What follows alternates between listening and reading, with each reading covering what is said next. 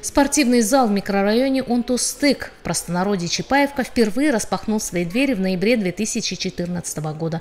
Незадолго до этого жители обратились к владельцу крупного предприятия, расположенного на территории микрорайона и по совместительству депутату областного маслихата Бахараму Абдукаримову с просьбой помочь отремонтировать заброшенное здание на территории средней школы номер 34. Депутат не только его отремонтировал, но и оснастил всем необходимым инвентарем. И две сотни мальчишек и девчонок микрорайона начали заниматься в секциях бокса, вольной борьбы и кикбоксинга. А еще бизнесмен решил, что дети будут заниматься бесплатно. Зарплату тренерам платил из своего кармана. В 2015 году на мероприятии по поводу официального открытия спортзала вместе с меценатом присутствовали и чиновники. Ну а перерезать ленточку доверили на тот момент заместителю Акима Шимкента, долгое время курировавшему вопросы идеологии Бахадыру Нарымбетову.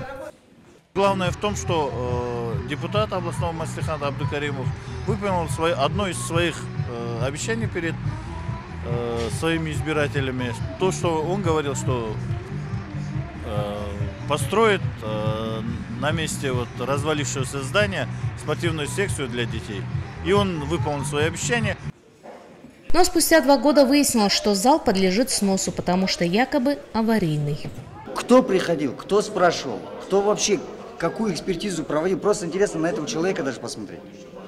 Просто если человек понимающий в строительстве, хотя бы мало-мальски, он понимает, просто даже вот эту маленькую школу разобрать не могут. Советского Союза они ее сломать не могут. Маленькая школа. Я не говорю про это здание, тут стены вон метровые. Я не знаю, что за люди такие. Вся молодежь бесплатно занимается. Мы хотели получить комментарий в отделе образования, но там нам рекомендовали обратиться в отдел строительства.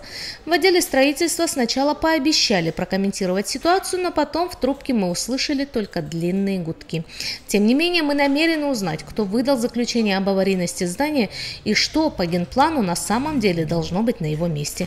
А пока дети обращаются к взрослым, занимающим высокие посты, с единственной просьбой. Оставьте наш зал! Видимо, работа дворовых клубов и бесплатных внешкольных секций у нас в Шимкенте поставлена на столь высокий уровень, что этот зал нам не нужен совсем. И заодно и дети, которые в нем занимаются.